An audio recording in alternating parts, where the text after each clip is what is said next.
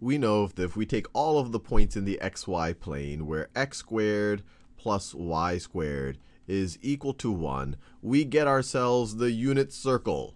Let me draw the unit circle. That's my y-axis.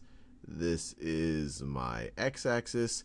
And the unit circle has a circle with a radius 1. So that's x is equal to 1. That's x is equal to negative 1. That's y is equal to 1. That's y is equal to negative 1. And the unit circle looks something, let me draw it, something like this. I think you get the point. Let me see if I can fill it, fill it in a little bit better. So you realize that it's not a dotted circle. So there. That's my best attempt at drawing at drawing the unit circle. And we also know that the traditional trig functions, or maybe we should call them the circular trig functions, are actually defined so that the if you parameterize, so if you were to take x is equal to cosine of t and y is equal to sine of t, then you pick any t right over here, and by definition, it's going to sit on the unit circle. By definition, x squared plus y squared is going to be equal to 1. So you pick any t, it's going to sit someplace on this unit circle. Or another way to think about it is as if you start to vary t, you're going to start tracing out this circle. And we know that t corresponds to the angle with the positive x-axis. So in this case, that right over there is t. Now, wouldn't it be neat if there were a similar analogy for not the unit circle, but something that we could call the unit hyperbola? So let's so that's our little review of trigonometry right there, traditional trigonometry. Now let's think about the unit hyperbola. Well, x squared plus y squared is equals 1 is a unit circle. Well, I'll just say that x squared x squared minus y squared equals 1. I'm just going to call this I'm just going to call it my unit, my unit hyperbola, or unit rectangular hyperbola. Hyperbola. And this is just a little bit of a review from conic sections, but it would look something like this. It would look, it would look something like, I don't actually want to make it completely analogous. So it would look something, so that's my y-axis. This is my x-axis. And then we can say, well, if y is 0, x could be positive or negative 1. So I guess you could think of it that as kind of the unit part. Where does it intersect the x-axis? So that's positive 1. That's negative 1. And then it has asymptotes y equals x and y is equal to negative x. And we go through the intuition on that on the conic section videos. That's y equals x. y equals x is that dotted line. y equals negative x is that dotted line right over there. y is equal to negative x. And then this thing is going to look like this. It's going to, has going to have a right half that does something like this.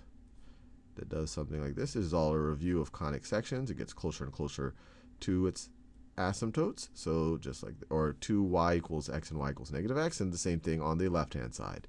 It's going to do something, something like, something like that. Wouldn't it be neat? Wouldn't it be neat if we could parameterize x and y's in a similar ways with different functions, maybe sim like analogous functions, so that we get a similar type of property. And you might guess what those functions are, but let's actually try to verify it. What happens? What were what would happen if x is equal to is equal to our hyperbolic cosine of t which is the same thing as e to the t, let me write a little bit different, e to the t plus e to the negative t, all of that over 2, and y were to be equal to hyperbolic sine of t, which is equal to e to the t minus e to the negative t over 2. Wouldn't it be neat if there were an analogy here? If you over here you picked any t in our and, and based on this parameterization based on our circular trig functions, you ended up with a point of the unit circle. Wouldn't it be amazing if at, for any point t over here you ended up with a point on our what we're calling our unit hyperbola? Well, in order for that to be true, with this parameterization, x squared minus y squared would need to be equal to 1. Let's see if that is the case. So x squared x squared minus y squared minus y squared is equal to, well, let's square this business.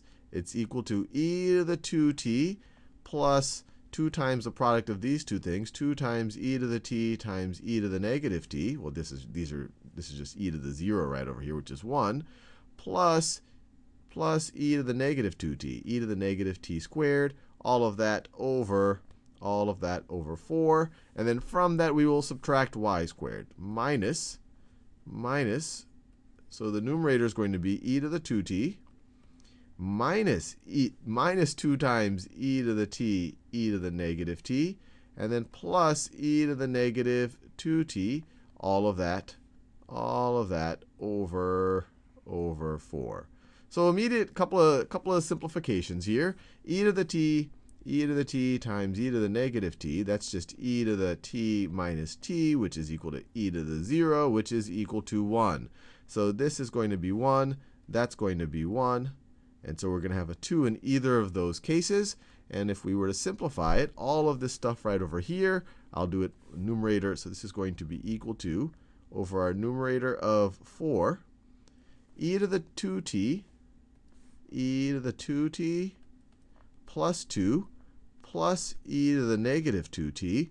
And then we have minus e to the 2t, minus e to the 2t. I'm just distributing the negative sign. Plus 2, plus 2, and then minus e to the negative 2t, minus e to the negative 2t. Well, this is convenient. This cancels, oh, that, that's hard to, I was writing it in black. Black's not an easy color to see. This, let me do it in, in green. This cancels with this, this and this also add up to 0, and you're left with 2 plus 2 over 4, which is indeed, which is indeed equal to 1. So this is a pretty good reason to call these two functions a hyperbolic trig functions. These are the circular trig functions. You give me a t in these parameterizations, we end up on the unit circle. You vary t, you trace out the unit circles. Here, you for any real t, we're going to assume we're dealing with real numbers here, for any real t right over here, we're going to end up on the unit hyperbola right over here. And in particular, we're going to end up on the right. So it's not exactly over here, pretty much any of these points could be parameterized right here. Over here, we're going to end up on a point on the right side of the unit hyperbola. And the reason why it's the right side is you go straight to the definition of cosh t. This thing can only be positive this thing can only be positive. e to the t can only be positive. e to the negative t can only be positive. So this is only, only, only positive.